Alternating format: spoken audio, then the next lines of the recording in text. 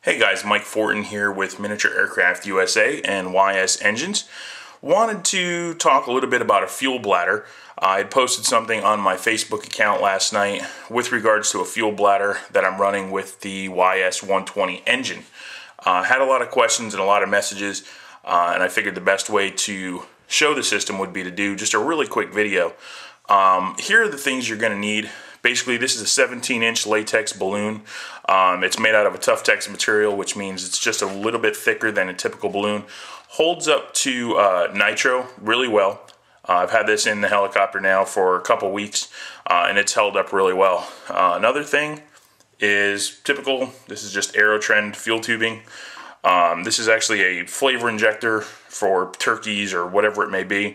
You can find that in pretty much any kitchen. Uh, and of course a YS120. Now this is something that is beneficial for any engine. Um, whether it's a 91, a 120, a 105, whatever it may be, this is something that's beneficial for any engine.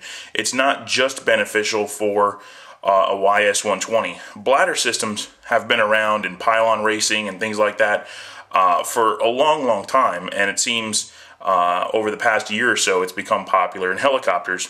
Uh, guys like Tim Jones, Leon Luke have been running this for a while, uh, and the performance is is really really good.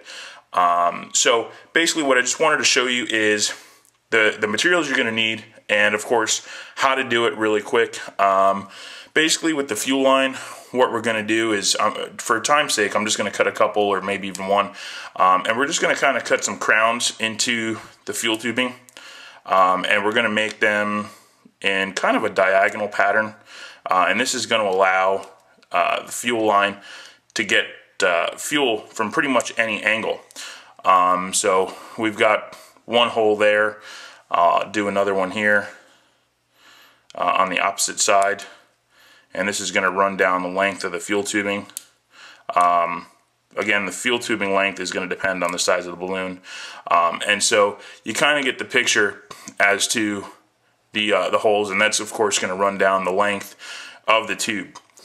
Once you've done that, you're basically going to take the balloon, you're going to insert the balloon into uh, the, uh, the tube into the balloon as such, uh, with the tube in there, as you can see, stretch it out a little bit. Um, this is going to go onto your uh, grommet here, your fuel nipple, uh, going into the tank, whichever tank it may be. Um, in this case, it's it, it, would be in a Whiplash uh, Nitro. Um, I don't have an extra fuel tank here, but uh, I do have this little um, plastic piece here. Basically, just for, again, for just video sake, this is going to illustrate kind of how it goes into the tank like such. Once this gets inflated with air, uh, it's going to, uh, with fuel rather, it's going to expand. Once, before you actually put the fuel into the balloon, what you're going to want to do is take these, this, uh, the syringe here, uh, insert it, and you're going to want to suck out all of the air. This basically gives it an air-free system, um, which is why it does run so much better as opposed to something like a fuel magnet or uh, a bubbleless clunk or anything like that. So making the system completely uh, void of air is what adds the uh, performance increase. So with that being said, uh, that is how you will make a fuel bladder system. If anyone has any questions, you can shoot me an email at mike at mike-3d.com or visit my website mike-3d.com or on Facebook.